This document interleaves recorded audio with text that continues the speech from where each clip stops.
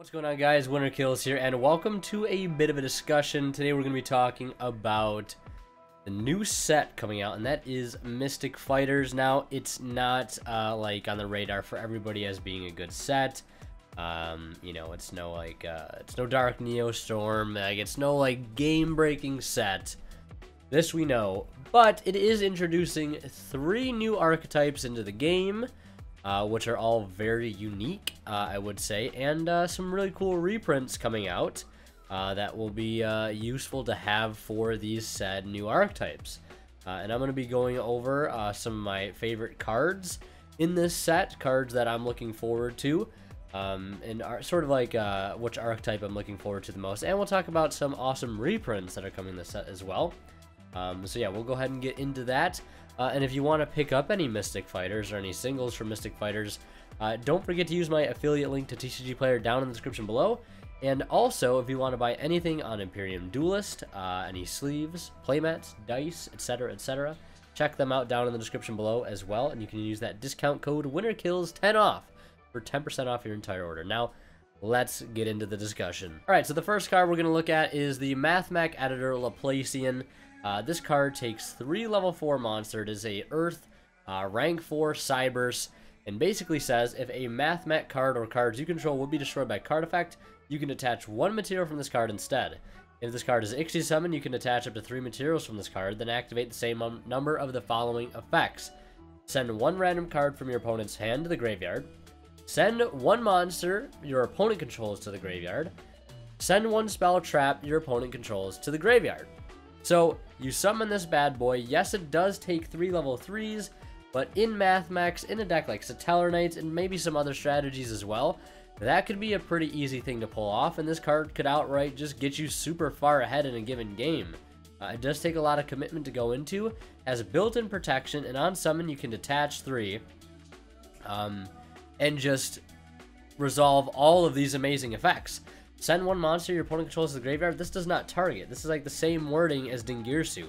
Dingirsu is an incredible card. Um, this card has built-in protection too. Um, only from uh, card effect though, not from battle, but still, that's pretty good. Um, and this card is absolutely amazing. I love this card. I'll definitely be picking it up uh, to try it out in Satellar Knights, because I don't think I'll be picking up MathMech, um, but this card is definitely one that I'll be picking up. Uh, the next card I want to talk about is the MathMech Editor. Uh, De-Alimberation, whatever it's called. Um, the other MathMech rank 4 that I think we weren't originally, uh, I think most people think we weren't going to get this in Mystic Fighters and we'd get it in Ignition Assault, but we're luckily, uh, lucky enough getting it in this set. Um, in this card, much like the last one, Laplacian, um, is a uh, generic rank 4, uh, 2000 attack, 0 defense, Cyberse, Earth, uh, takes two plus level 4 monsters, so a little bit more flexible. Um, and it says if this card is 67, you can attach two, three, or four materials. Four materials uh, from this card. Apply this effect depending on the number detached. Two, add a MathMech card from your deck to your hand. That's pretty good. I mean, in for the deck on its own, that's pretty good. Three, add a level 4 monster from your deck to your hand. That's a pretty good thing to search. Dark Grepher, Armageddon Knight. I don't know. I, I, don't see Orcust making this card, but this is just an example. Um, and then four, add one spell trap from your deck to your hand. Any spell trap. It does take a ton of commitment and a ton of setup to go into this card, all to search a spell or trap, but again, it searches any spell or trap. There's no restriction on this. There's no, you can't play it this turn. Uh, cards that name's effects cannot be activated. Um, you can literally search it, play it, and do whatever. Um, yes, it can be susceptible to this card getting ashed. That would suck, because you essentially put all your eggs into one basket for this card, and that's no good. Um, but, uh, you know, on paper, seems amazing, and it's still a card I, I kind of want to pick up and experiment, uh, even just for the 3 and 4 effect, even though they might be a little bit harder to get to still applicable in other strategies other than MathMech, so that's why I really like this card. Now the next uh, set of cards I want to talk here, uh, talk about are not extra deck monsters. These are um, the Generaider cards. I picked out three specifically. I could talk about all the Generaider cards, um, but I want to mention these three specifically. The first one I want to talk about is Haradi, the Generaider boss of swords. Now, this one's effect on paper and at a first glance might not seem too good, uh, but when we go into the discussion later on and we talk about um, the reprints we're getting, there's actually some really devastating, um, you know, kind of setups uh, you can have uh, and things that have really good synergy with this card and a lot of other uh, Generaider cards as well. The field spell and the trap. Um, there's kind of a reoccurring theme here in some of the cards that have been reprinted. They kind of mesh really well together. While it may be uh, seen as like a gimmick, can be pretty devastating uh, if pulled off. Um, but this card basically says, uh, quick effect, you contribute any number of Generaider monsters and or warrior monsters, then target that many monsters on the field, destroy as many of them as possible. Then your opponent can draw one card for each monster they control that was destroyed by this effect. That doesn't seem too good. Obviously, if you uh, just take face value the board wiping capabilities, it seems okay. But when you look at the drawback, the fact this card could let your opponent draw two, three, four cards, doesn't seem that good. Um, and it's just, take it with a grain of salt for now. We'll come back to this card. We're to move on to the next card here, which is Nidhogg, Generaider Boss of Ice. I really like this one as well because this is, I feel like, one of the better Generaiders next to the Plant Monster, um, which can be summoned off of Lonefire, which is coming in this set as well as a reprint. Um, so all the Generaider cards looking significantly really good. Um, and uh, this one stands out to me though because it is a solemn strike.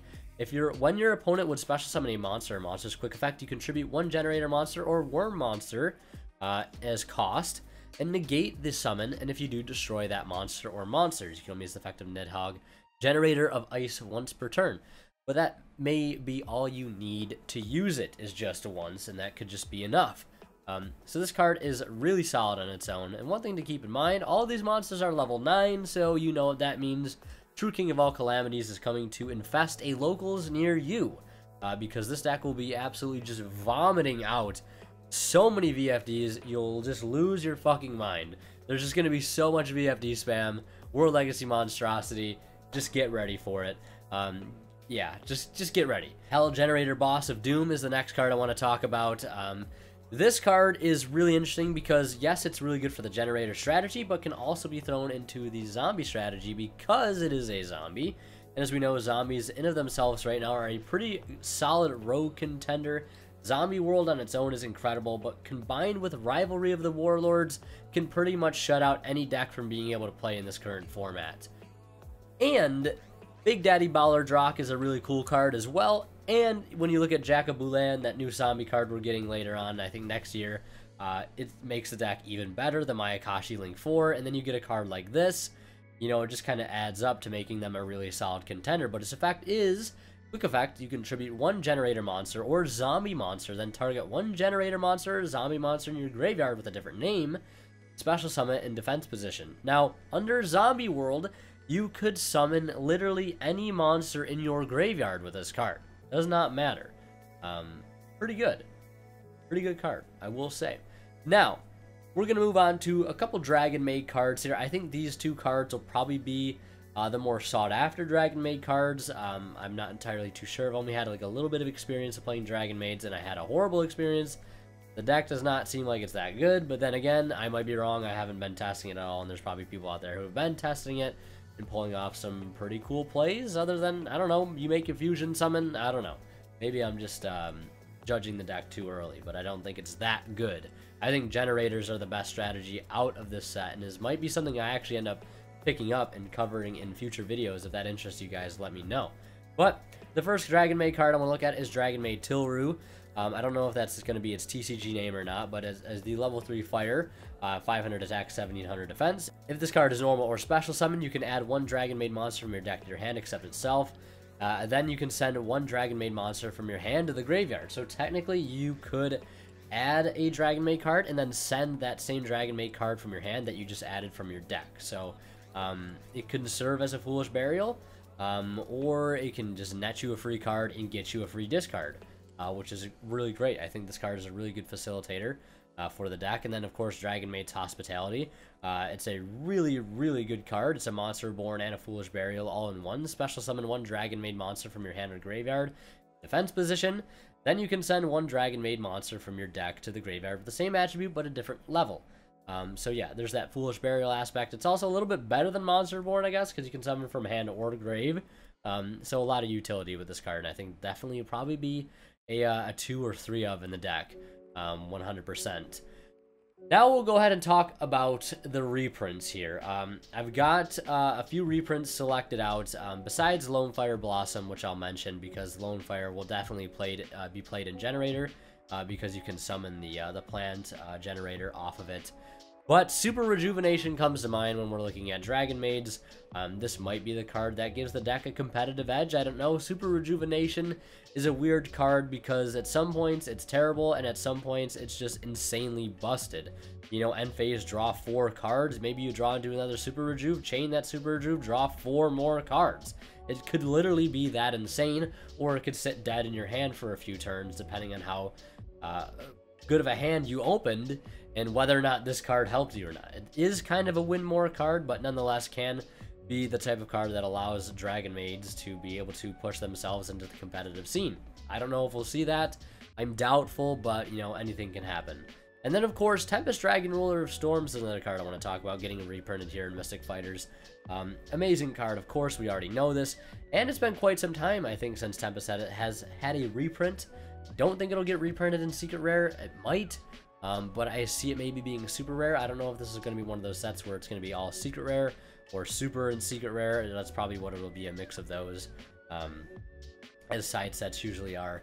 Uh, and then moving on to a lot of the cards that are getting reprinted that help support the Generaider archetype uh, is True King of All Calamities. As I said, it's going to be an absolute shit show with this deck. I think there's just going to be so much VFD spam, so much True King of All Calamities spam it's gonna like boggle your mind a little bit uh, at some point. So you kind of got to be prepared for it. I don't know how much representation this deck will see, but if there's one thing it can do, it is summon True King of all calamities, and that card can shut you down for turn after turn. And most builds are probably going to be playing two copies of this, since you can literally, like, making this card is literally like just an afterthought for this deck. That's how easy it can be done, especially with World Legacy Monstrosity. Now moving on, we'll talk about two trap cards that are getting reprinted here in the set, and they haven't been reprinted in quite some time, and they're very old trap cards to begin with. The first one I want to talk about is Heavy Slump, and I want to talk about Heavy Slump because this is a card I used to play way back in the day in Stellar Knights, and uh, because you would bounce everything back to the, uh, on the field to your opponent's hand. Uh, they'd have an absurd amount of cards in their hand, and then you'd activate Heavy Slump, says if your opponent has 8 or more cards in their hand, they shuffle their entire hand to the deck and draw 2 cards. Now, that's a minus 6. What would you do after that in Stellar Knights? You would use Traverse Effect attached and take another card out of their hand, and they just had to suffer a minus 7 at like little to no expense to you other than flipping up this trap card. Yes, it does require a little bit of setup, but Trap Trick is a card, and um, yeah, this this card is pretty nuts and could be pretty powerful in a deck like Generaider when we look at the field spell uh, Generaider stage that uh, I believe when a Generaider monster is special summoned, uh, you can summon like as many tokens as uh, Generaider tokens as possible.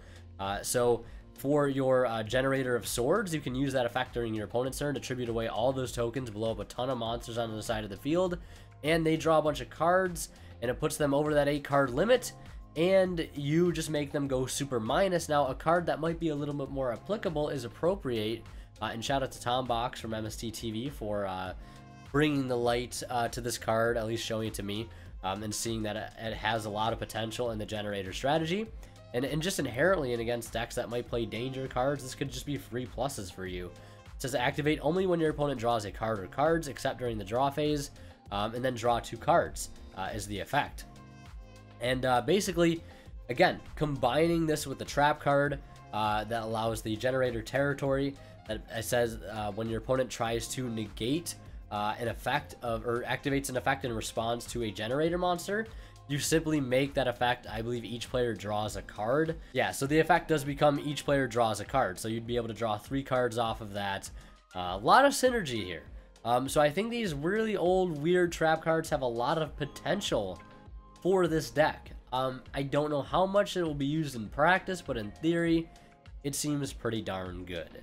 Um, but yeah, that's gonna do it for this little, uh, you know, discussion on the Mystic Fighters set. What do you guys think about the set? Um, I mean, I'm not super excited for it, but there are really cool cards in here. And uh, like I said, the Generaider strategy does really interest me now that I've had more time to look into it. And uh, I've played against this deck before, and I've had times where the opponent has let me draw an absurd amount of cards, and I can only imagine looking back if they had a card like Heavy Slump or Appropriate, I would have been in a much worse off position. Um, and I think I might have a replay of that on my channel somewhere um, of playing against Generaiders and them giving me an absurd amount of cards. And again, they would have had Heavy Slump. Might have been just game over, uh, 100%. But anyways, that's going to do for this video. Thank you guys so much for watching. Leave a like if you enjoyed. Drop a comment down below as well on your thoughts on the set or what cards you're looking forward to. Are you picking up any of these decks out of the set? Are you picking up Dragon Mage, Generaiders, or Mathmechs? Let me know. Or let me know in Discord. Discord link down below. Or follow me on Twitch and catch a live stream. Love to see you guys there. But anyways, thanks so much for watching. As always, Winter Kill sign out. We'll see you guys in the next one.